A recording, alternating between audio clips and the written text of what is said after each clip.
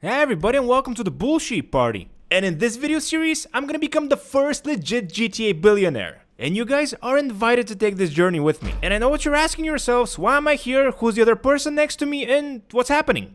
Don't worry, I'll explain everything, so let's start at the beginning. And the first thing you need to know is that I'm gonna be playing with a completely new character on a completely new console. Ooh, a discount. And as I said in the beginning, I'm gonna be doing this completely legitimately. No tricks, no glitches. And in case you're wondering, yes, I'm probably gonna be playing with some of you guys very soon, on the Xbox that is. But more on that in a little bit. First, we need to get through the prologue in order to start playing GTA Online. And how difficult could that be? Oh, come on, I wanna play, I wanna play, I wanna play! Yep, that's my cue.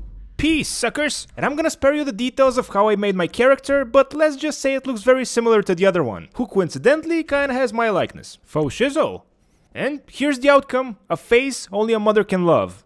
Cheese! And after I sat through an unskippable trailer of the new Cayo Perico Heist DLC, thank you for that, I'm ready to jump into the world of GTA Online. Okay, so apparently with the premium edition, which is the base version of the game, I get a million dollars in the bank. A million bucks isn't a lot and it's definitely a very far way from 1 billion. So of course the first thing I did was go to the casino and claim the $1000 visitor bonus. And apparently you need some sort of a membership in order to spin the wheel, so I paid 500 so they gave me a $5000 bonus or something like that. But to make a long story short, since I need money, I don't want to land on the vehicle space. Here, I'm looking for cash. Or casino chips. You know, whatever. And at this point, I remember something. One of my first videos that I believe isn't available anymore is about how to make money using the slot machines in GTA Online. So what I did was, went in, was cashed in $20,000, and went and played the slots. And I made $1 billion. Video over, thank you for watching. Okay, so after blowing through everything that I had except for a thousand dollars, I decided that this isn't gonna be the way to make money. This is. Uh... Okay, so apparently we're not gonna be making money in a casino. What a shock. And even more important than making money is that I need to level up my character, cause nobody else wants to play with me. But first we need to make an important stop. Oh yeah, that's the stuff. Mm-mm-mm. Okay, now we're ready for action. Let me try my chances for the Diamond Casino heist. Okay, that's uh, Interesting. Alrighty then, let's restart the game. Oh my god, I can't wait to play GTA Online. What? Oh, that's just great. Just perfect. But uh, don't worry, as it turns out, you only need to beat the prologue once. So chuck one up for the little guy. And as the game was loading, I saw this. Basically, if you complete 5 stunt jumps across the map, you win $500,000. So guess what I did when finally the game decided to load? That's right, I got my complimentary Turismo R, which by the way is a good car. And I completed one... Hmm, that's weird. Oh, I'm good at the deadline activity. Told you I was good. If at first you don't succeed, apparently failed again. Quit my crew. Now I know how to fix that. There, feel invited. Uh, okay, Bespa it is. And as I said, you're welcome to join. Oh great, more cookies. And now that I'm back in the legitimate crew, it's time to go back to what I was doing before. One, two, three, um, three. Oh, so close. Okay, three. Okay, this has to be the one, right? There we go. Three. And number four. No, no, no, no. I'm not playing that again. So this is number four, and this is number five. I hope. And in case you're curious, the car was like this when I found it. Wink. Okay, I completed five stunts. Now, where's my money? Wait, what did it say on the promotional screen? Mm-hmm, mm-hmm. By April 14th. Okay. Hey, since I got this car for free, I wonder if... Uh, of course not. I gotta be honest, guys, at this point, I kinda started getting frustrated. All the activities and ways to make money that I'm used to are not unlocked yet for me. And even better, everybody kicks me out of a heist. I can't even complete a single mission.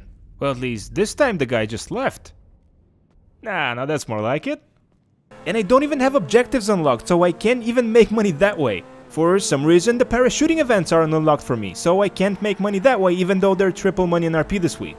I can't participate in survivals, cause they're a good way to make money fast. I've honestly become complacent with my high level character. But it can't be that bad. Let's see what a typical Hitman mission pays you within the game. Oh, that's just pathetic. So let's do the math, guys. I started with a million dollars and somehow I managed to lose money. I am literally going in the wrong direction. I should be making money. So that's exactly what I did next. I somehow joined the survival and... Oh man, we suck. Okay, uh, maybe it's not that bad. Maybe I'll be able to make money completing a mission with someone. Well, thanks there, buddy. Let's try a different one. And the main problem that I have playing with people who have lower level characters is that I'm either playing with idiots, kids, or a combination of the two. Oh man, you guys suck!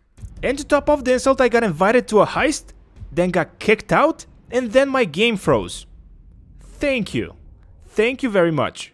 And when I restarted the game, I was greeted by this. Oh, f you. But then I remembered something. You can make a pretty decent amount of money completing all of the San Andreas Flight School training thing. And of course it's not here. Maybe I can start by completing Lamar's missions. Ah, of course not. So I went to the thing that I'm good at, spinning the lucky wheel. And even though I like the current podium vehicle, the RSX, my priorities are different. I need to make money. And if memory serves me correct, you can win a lot of money if you manage to land on the mystery prize. And luckily, I know how to do it. Even made a video about it 7-8 months ago. So basically this is what I got. Not bad. $100,000. And if you're curious as to why I'm not completing any of the races or RC Bandito races, well, I don't have a car and I don't have an RC Bandito. I can't even participate in the premium races. I'm telling you guys, starting from scratch is more difficult than I anticipated. And somehow in the meantime, I've unlocked the flight school. And I'm not gonna bore you with exactly what he did or how I completed everything, but this is basically all the medals that I got. Not bad. And for the medals, I got $165,000. Again, not great under normal conditions, but keep in mind, I'm level 9 at the moment. And you know what they say, beggars can't be choosers. And I just want to do a quick PSA here. Kids, crime doesn't pay. So let me try something else. Let me try an honest day's work. And done. And it only took me 28 minutes. Come on now, let the millions roll in, baby! Oh. That's not a million. But to make a long story short, I tried the Diamond Casino heist as a level 9 this time.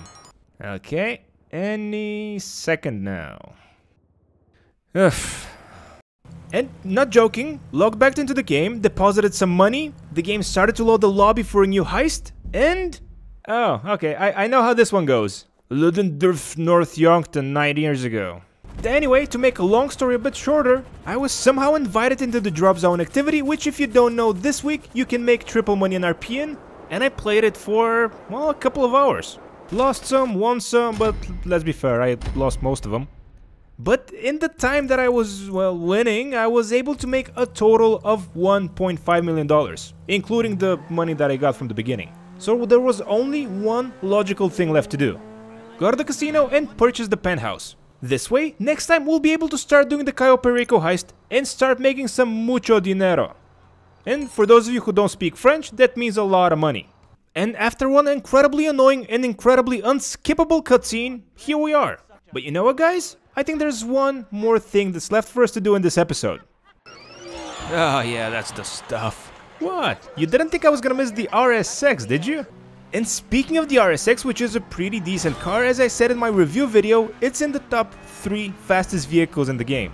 So let's go to Los Santos Customs, fully upgraded and fully customize it. Hmm, that's gonna be a good way to end this one. Wait, what? Okay, well, at least I can custom... Oh. And I guess with that bitter disappointment, it's time to end this one. But the good thing is that we've set up everything so we can start making a lot of money from next time.